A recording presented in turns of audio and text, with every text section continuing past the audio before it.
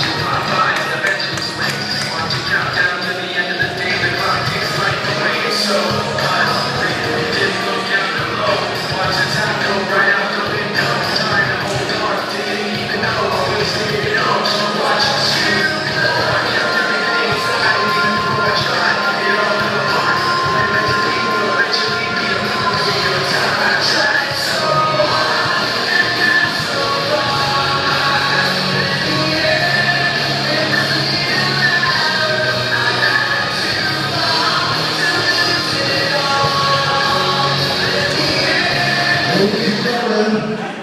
Yesterday, we had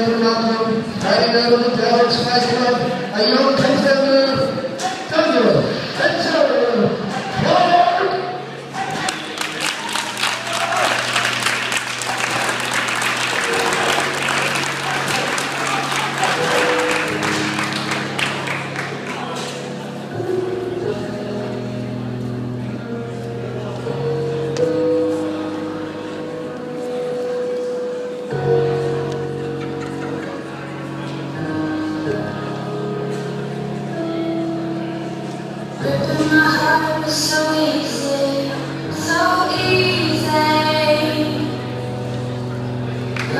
so